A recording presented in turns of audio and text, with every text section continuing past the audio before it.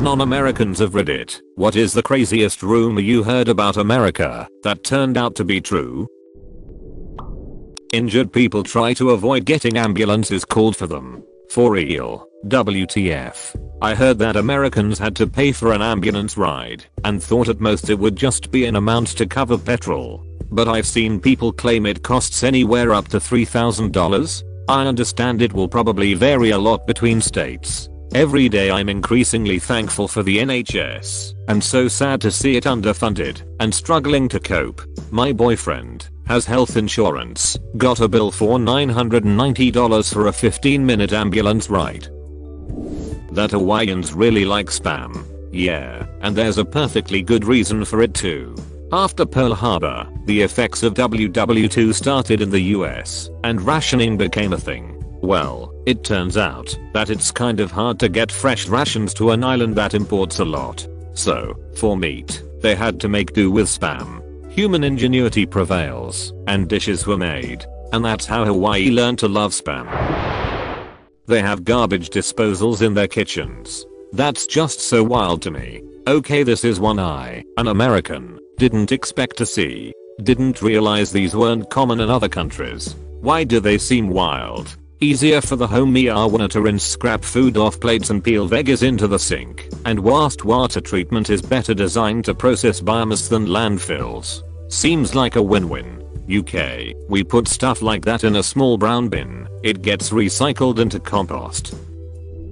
That public transport is almost non-existent in many smaller towns, which makes it a necessity for teens to have their own cars. 100%. So if you want a job when you're 16 you better live walking distance to your job or have your parents get you a used car of sorts. I'm gonna throw an edit in here to you city slickers. Not everywhere is bike friendly, especially in growing cities and rural counties, where downtown is along a 55 miles per hour highway without sidewalks or shoulders. Even if it's within walking distance, many places will still not hire you if you don't have a car. What if it's raining slash snowing?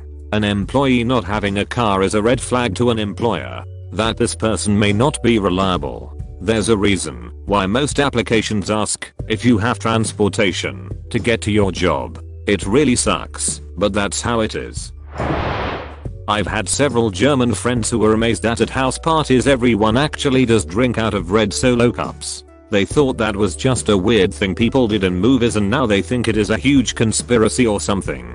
I'm Finnish and few years back people actually threw US themed parties and the high point of the parties were the red cups and drink pong played with them. Every person I know who owns a set of those cups, like 20 or so, use them only for drink pong.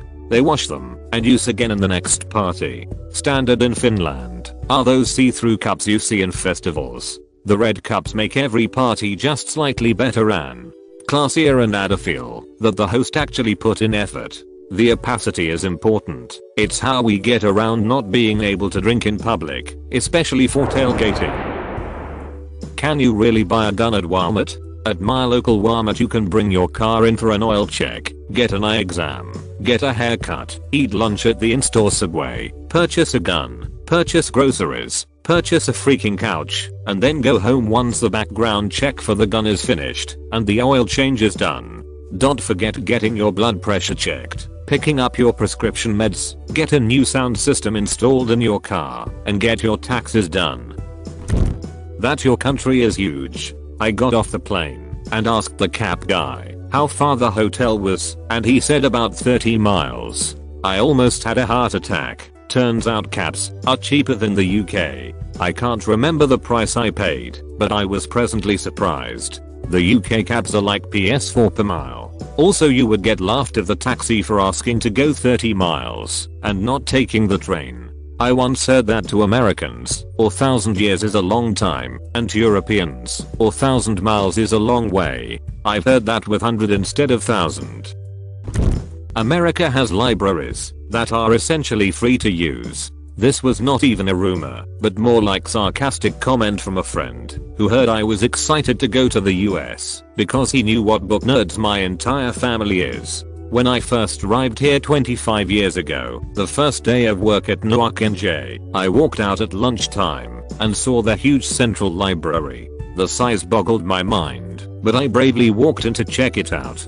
The guy says, yup, show me your work ID for local address and you get a membership card. Me, how much does it cost? I only own $80 total till I get my first pay. He, Bemused, almost laughing, it's free. You don't pay anything. Me, after a brief recovery time from shock. So how many books am I allowed to take home? Expecting that to be a catch maybe I need to put down a security deposit for each book. D. Now positively enjoying himself. How many can you carry? That day I took home 30 plus books, just being greedy, and quickly called my dad to tell him about it. For a guy who painstakingly would browse used bookstores in small town India, just to get his kids great books to read, he was suitably amazed. He was puzzled if that would kill the bookstore business, because who'd buy if such free libraries existed. Till date I remember the gratitude I felt that day for being able to come here.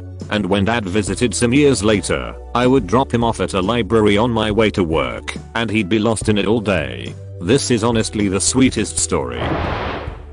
Not really crazy, but I just learned you guys have like outdoor sirens that get tested somewhat frequently. I've only heard those noises in video games and movies until my friend sent me a clip because I had no idea it actually happened. In the Midwest therefore tornadoes. Yep. In some places they test the sirens weekly. In my hometown they are tested st 1pm on the first Saturday of the month. Sirens save lives in bad storms. A lot of negative posts here, so I'll change it up. That there is a path, especially for children, to get themselves out of poverty if they are willing to work hard and put in the effort in school. My family is from India, and while we were middle class there, quite a few of our extended family lived in poverty. If a kid was born in poverty, that was his life. Kids in villages were taken out of school at early ages because they needed to work to help provide for the family. A lot of families had kids simply so they could help out around the house and earn money. Even if you went to school and college, you might have been from a lower caste and people simply would not hire you based off your last name. You probably couldn't afford books or calculator or even paper and pen to write which put you behind in school from the get-go. Public education in America is lacking based off our own set standards, but it's whole hell of a lot better than many third world countries. If you're born poor, you can get public education and then get a student loan, even though they rip you off to go to college. 20 years ago, a bank in India would laugh at you if you asked for a loan to go to college if you had no collateral or fame from a poor family. Companies on America don't look at your last name or color, hopefully, when hiring. India has come a long way in the last 20 years and that is a welcoming change. Still has a long way to go. Public education used to be much stronger in America. In the 80s there was a strong trend to deprioritize it in the budget. It is now ridiculously underfunded. Then the No Child Left Behind Act of 2001, NCLB, really crashed the standards, as it focused purely on teaching for the test. It further deprioritized things like civics and physical education as they were not part of the test and you could face a govt crackdown if your students are the lowest performer on that specific test.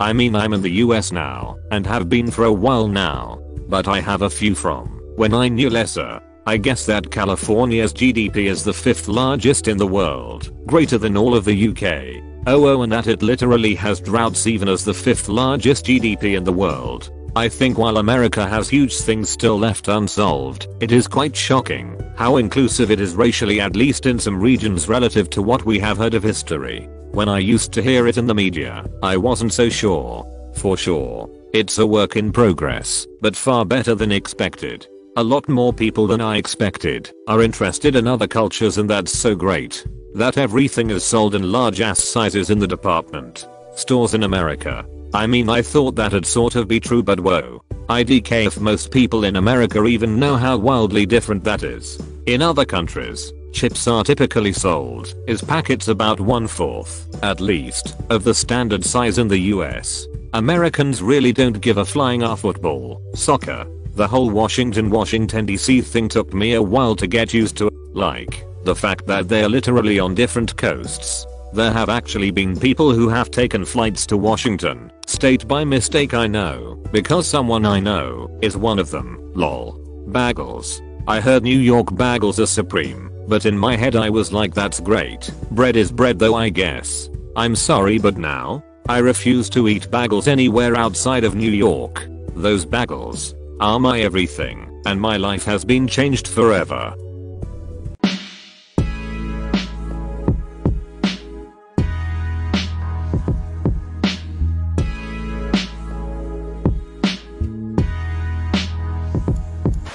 So this is something I've actually experienced from a few Americans I thought was hella weird and stupid. Americans are really ignorant to different world accents. Had a few Americans fully drag myself and friends for having an Australian accent. Like I know that we Aussies use a lot of slang and we like to shorten words, but like we are not inarticulate. They would say like Australians don't know how to talk. Like you guys, don't pronounce your words correctly, and it makes it very hard to understand you sometimes. Like it's common knowledge that different countries have their own style of speech. But to assume that, just because we don't have the same accent and speech style, we are inarticulate and can't speak properly? I met this couple from Iowa, they told me I speak really good English for someone from the UK. Um, thanks. Well, I'm American, but I flat out couldn't believe it when I heard the statistic that the US has 5% of the world's population, but 25% of the world's imprisoned population.